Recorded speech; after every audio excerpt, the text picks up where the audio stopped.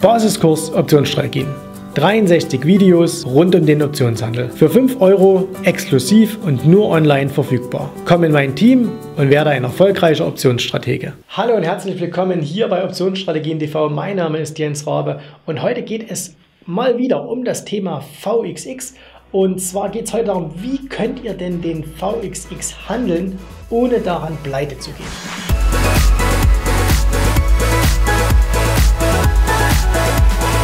Wenn man hört VXX und pleite gehen, äh, da fragen sich viele, wie kann denn das sein? Der VXX ist doch eine Gelddruckmaschine. Ne?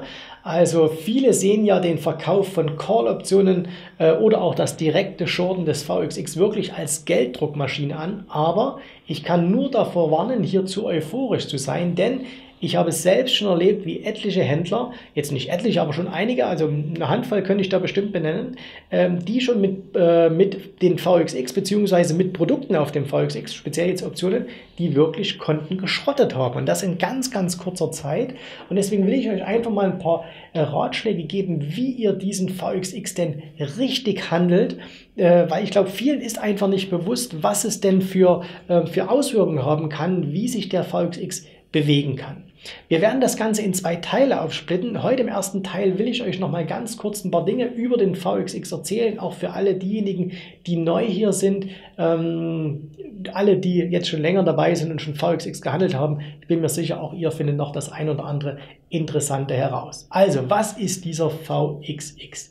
Der VXX ist ein sogenannter ETN, ein Exchange Traded Note, also kein ETF, sondern ein Exchange Traded Note quasi eine Schuldverschreibung, wurde von ePass herausgegeben. ePass ist eine ja, Abteilung, eine, eine Sektion äh, von Barclays, also einer großen Investmentbank, und zwar im Jahre 2009 haben die das sehr, sehr clever gemacht. Nach der Finanzkrise war natürlich die äh, Nachfrage nach Absicherung gegen ansteigende Volatilität extrem groß. Also haben die dieses Produkt lanciert, äh, hat mittlerweile über oder fast eine Milliarde Dollar unter Verwaltung ist jetzt erstmal, hat eine zehnjährige Laufzeit, weil es ja eine Note ist, ne, also eine Schuldverschreibung, äh, hat eine zehnjährige Laufzeit und ähm, bis 2019 mal sehen, ob es dann verlängert wird. Ich gehe mal davon aus, wenn du ein Produkt hast, was eine Milliarde unter Verwaltung hast, äh, dann kannst du auf jeden Fall ein Nachfolgeprodukt wieder auflegen oder verlängerst das ganz einfach. Ne? Also, aber wir werden sehen. So, was macht dieser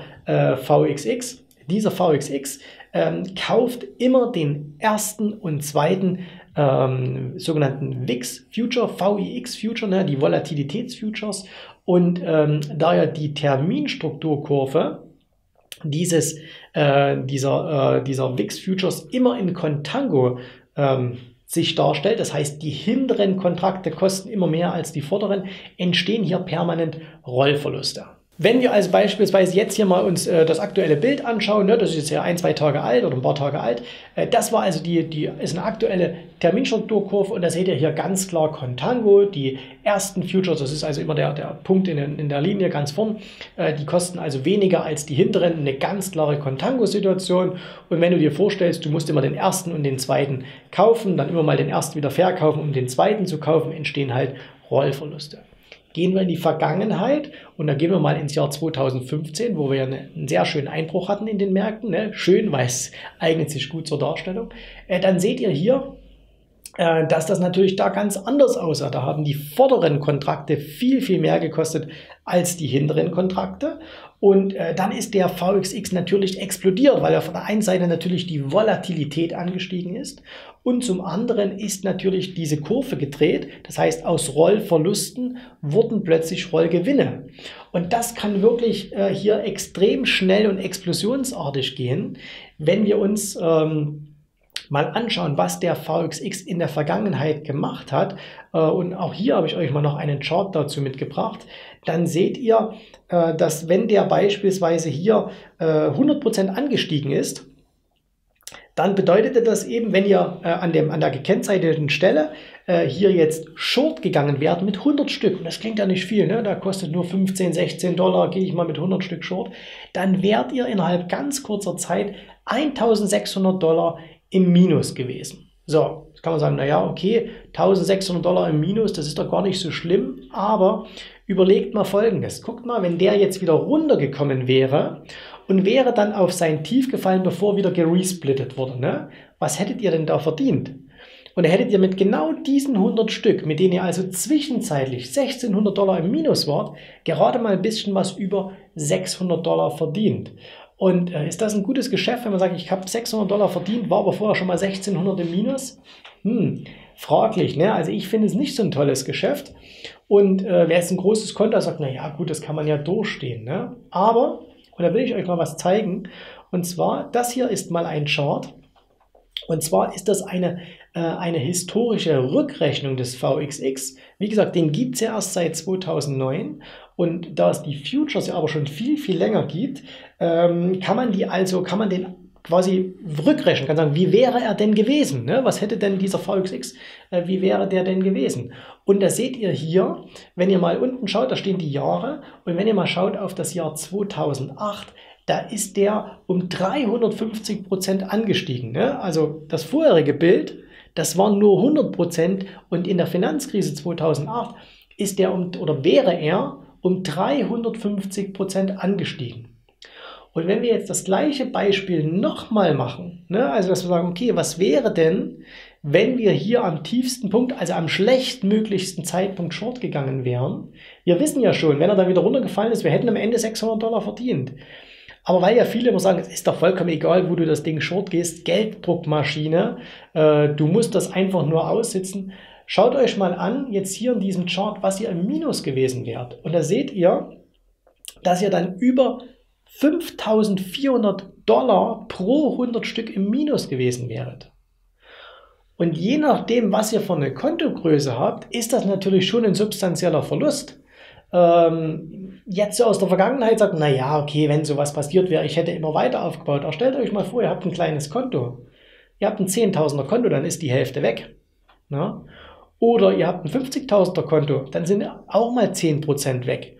Und überlegt euch mal, wenn ihr das ist ja im Nachhinein, weiß man immer, was draus geworden ist. Aber wenn ihr in so einer Situation seid und wir sagen jetzt, okay, ich gehe da short und ah, bin ich mal ein Tausender Minus. Ah, verdammt, jetzt bin ich schon 2000 Minus. Ah, jetzt bin ich schon 3000 Minus. Ne? Wie das auch an den Nerven zerrt.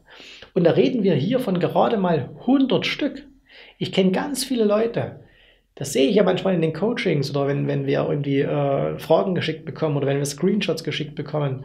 Die haben Konten mit 50.000 Euro und haben dann 1000 Kontrakte VXX Short oder 5, 6, 7 äh, Calls auf den VXX geschrieben. Plus 7 Call-Optionen, wenn die euch zugeteilt werden, sind es auch 700 Stück. Ne? Und dann werden aus, wenn so ein Extremfall kommt, aus 5000 Dollar Verlust mal 35.000 Dollar Verlust. Und weißt du, was du dann hast, wenn du ein, 35, wenn du ein 50.000er Konto vorher hattest? Dann bist du pleite. Ne? Dann kriegst du vielleicht einen Margin Call und dann bist du raus und musst im wirklich schlechtesten Moment glatt stellen. Und deswegen, man sollte nicht unterschätzen, dass dieser VXX richtig angewandt wirklich eine Gelddruckmaschine ist. Aber wenn man ihn nicht versteht, vor allen Dingen, wenn man, ähm, wenn man sorglos rangeht und sagt, na ja, was soll da schon passieren, ne? dann kann das wirklich ein Biest werden. Ähm, wir wollen hier mal gar nicht vom UVXY reden, also von dem geleveragten, der hat also einen Hebel 2. Äh, da ist es nämlich noch ein bisschen extremer. Äh, da ist nämlich schon, da braucht man dann schon wirklich ein größeres Konto, wenn man da mal hinten liegt, weil dann geht es ganz, ganz, ganz schnell, äh, dass man da mal wirklich Zehntausende von Dollars verliert, wenn man da nicht aufpasst. Und deswegen, was ihr machen müsst, damit euch genau sowas hier nicht passiert, ne, das klären wir dann im nächsten Teil, also der kommt dann nächste Woche und da sprechen wir mal drüber, was ihr unbedingt beachten müsst, wenn ihr den VXX handeln wollt. Ich bin nach wie vor der Meinung, der, UV, äh, der VXX ist das beste Produkt, was man handeln kann, wenn man Volatilität direkt verkaufen will. Aber es ist keine Gelddruckmaschine, weil Gelddruckmaschine, das klingt immer so, naja, ich äh, werfe die an, Perpetuum mobile und dann kommt immer Geld raus. Definitiv nicht. Ne? Man muss schon seine Hausaufgaben machen. Wenn man die macht, ist es gut. Wenn man die nicht macht, dann wird es eine Geldvernichtungsmaschine. Also, ich freue mich auf nächste Woche. Ich hoffe, ihr seid dann wieder hier mit dabei. Bis dahin euch alles Gute, viel Erfolg. Schreibt mir eure Fragen, Anregungen, Kommentare wie immer unten rein und dann sehen wir uns. Also, bis dahin, Servus, macht's gut. Bye, bye.